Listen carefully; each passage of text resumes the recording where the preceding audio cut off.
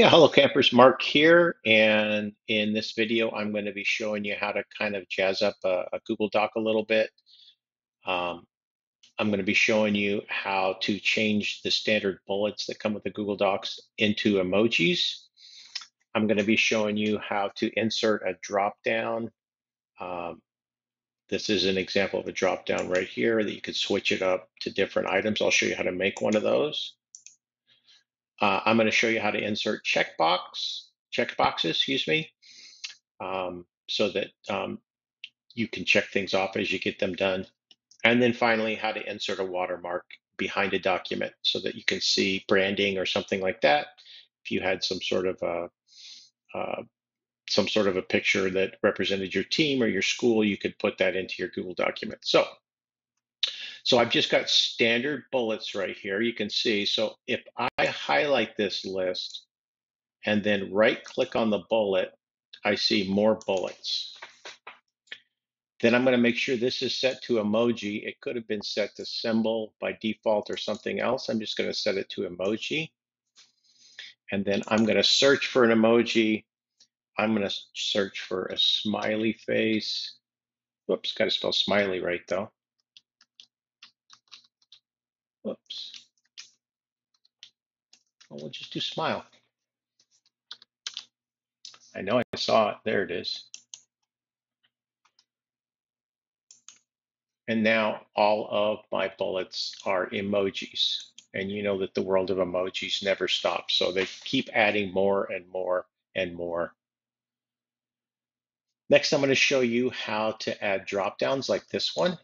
So I'm going to go down here where I have a little bit more space and I'm going to choose insert and drop down. And I'm going to make a new drop down and I can choose the colors that I want.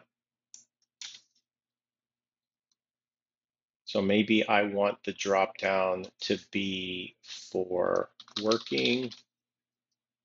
Let's make that a better color though. Working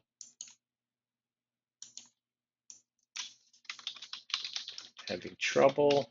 Let's make that yellow. And then need help.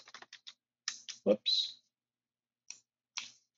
Need help immediately.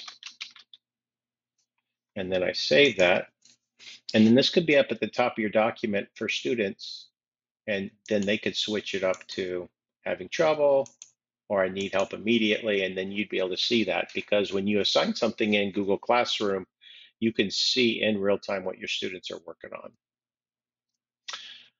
Checkbox, checkboxes to get started on checkboxes. It's up here at the top. So let me give myself a little bit of space again. And the checkboxes are located on the toolbar up here. Go to the bank, get lots of money, go to the mall. And then as I do those things, once I've gone to the bank, I could check that off.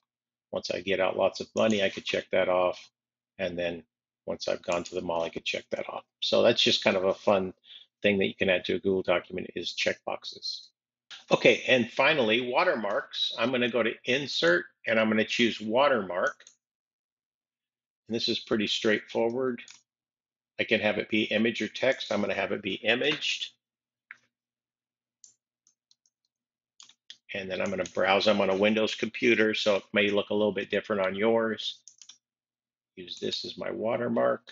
I know I'm in Tucson, but this is one of my favorite symbols. And then that's in the background, and I can type over the top of it.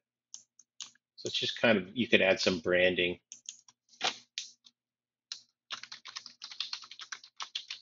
And you would need to keep in mind what font and style and color you're using in your text as it types over your watermarks. But it just kind of wash it out a little bit, so it should look pretty nice.